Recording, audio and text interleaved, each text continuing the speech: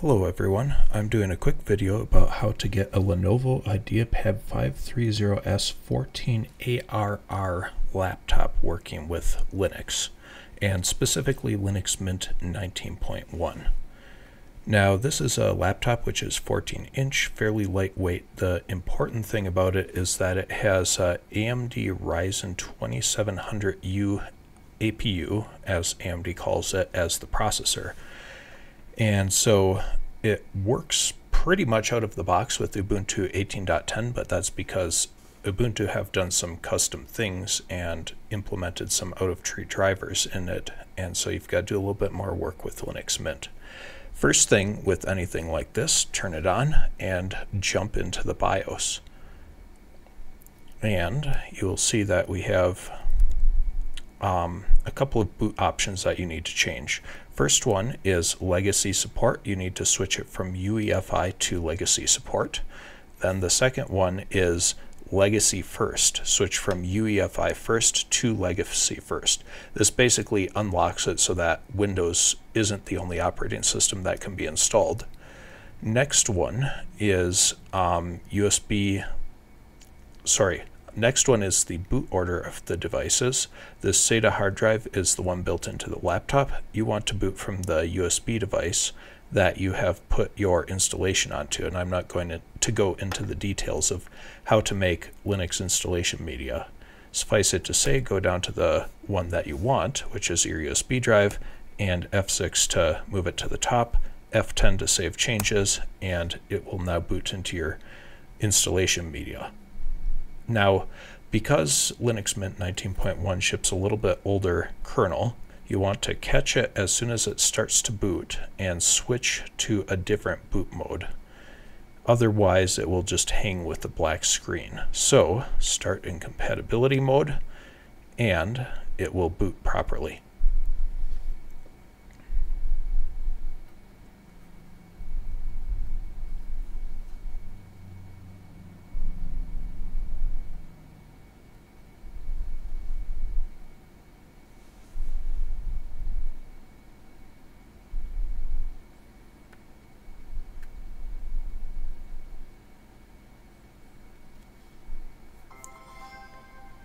And here we go. It's fully started up and at this point you would want to install Linux Mint using the install Linux Mint option. One thing that you're going to need is right now the trackpad does not work. So you need to use a mouse plugged into one of the USB ports. I already have Linux installed on here, so I'm going to reboot and go to my existing installation to show you the rest of the things you need to do to get the rest of the hardware working. So this is what you should see after you have successfully installed Linux Mint. Now you're still going to have to force it to boot into um, compatibility mode until you do the second step of the hardware enablement process.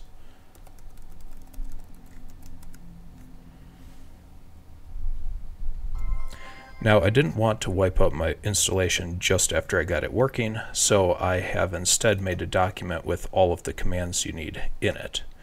This is going to be in the video description. Let's make it a little bit larger so you can see it if you need to read it from here. Okay, so the first thing that is not working is your Wi-Fi. That is a fairly common thing. The command you need to run is this one here, echo blacklist idea laptop sudo tee etc um, modprobe. Uh, did I type that incorrectly? Anyway, this will be correct in the video description. And once you do that, reboot and you should have Wi-Fi working so you can download new things like kernel and driver. Second thing that is not working is graphics. Right now, you are running in software mode, not hardware accelerated mode. The reason for this is that Linux Mint ships the 4.15 kernel, and I believe that support for the CPU and GPU that run in this laptop were added in 4.17 plus minus one kernel. I don't remember exactly. Anyway, you're going to need to, I'm not going to put all of the commands in here here is a very good article which will show you how to upgrade the Linux kernel. I upgraded to I upgraded my kernel to version 5.0, but if you're a little bit more conservative, you'll probably want to stick with 4.18 since that's the current long-term support kernel.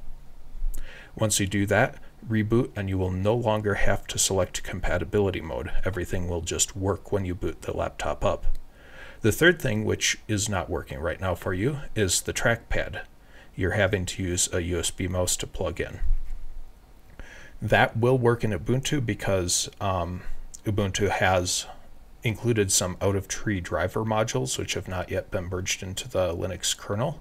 Those are available in a GitHub repo. I have the GitHub repo link here and then a series of things. You will not have Git installed by default, so you're going to have to do that. Then you're going to have to clone the repo, move to the drive where all of the code from the repo was put, and then run this install script, reboot one more time, and your trackpad will start working. After that, as far as I know, everything works. I have not tested USB-C and I have not tested VGA graphics, but I have tested the webcam, the keyboard, and the function keys, and all of them work. Credit goes to this thread on Reddit. I will put the link to that in there as well. And I hope that your laptop works well for you. Thank you.